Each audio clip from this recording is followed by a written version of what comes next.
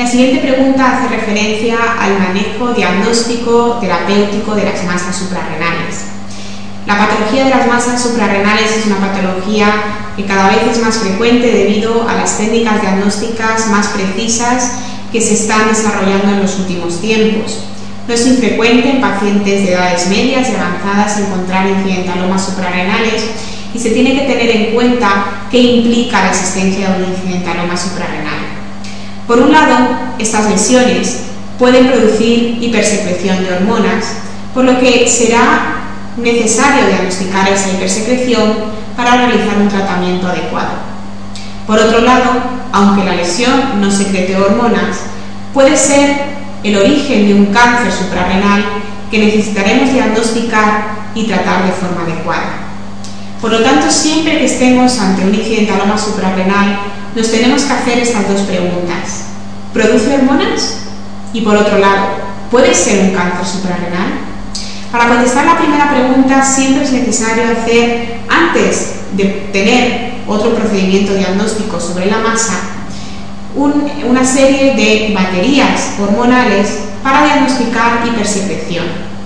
La hipersecreción más frecuente de las masas suprarrenales es la de cortisol, seguida de la de la aldosterona.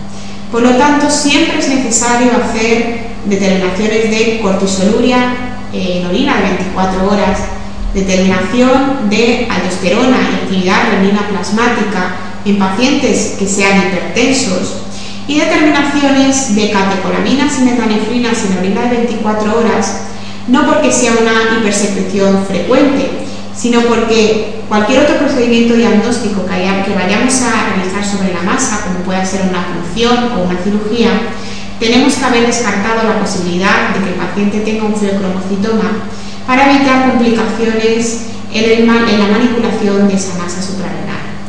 Luego, en el diagnóstico funcional de la masa suprarrenal siempre estarían incluidos las catecolaminas, las metanefrinas, la cortisoluria, el test de un miligramo de dexametasona y bien la determinación de aldosterona actividad de renina plasmática en aquellos pacientes con tensión alta. Una vez que sepamos si la lesión produce o no produce hormonas, si produce hormonas iremos a realizar un tratamiento quirúrgico. Si no produce hormonas, veremos el tamaño de la lesión, pues el tamaño es muy indicativo de si la lesión puede ser un carcinoma o será una lesión benigna. Se dice que aquellos incidentalomas menores de 3 centímetros, 2 centímetros en las últimas guías, eh, son lesiones benignas y que aquellos incidentalomas por encima de 6 centímetros tienen mucho riesgo de ser cáncer. Por lo tanto, aquellas lesiones que sean mayores de 6 centímetros en las pruebas de imagen, las quitaremos por riesgo de que estemos ante un carcinoma suprarrenal.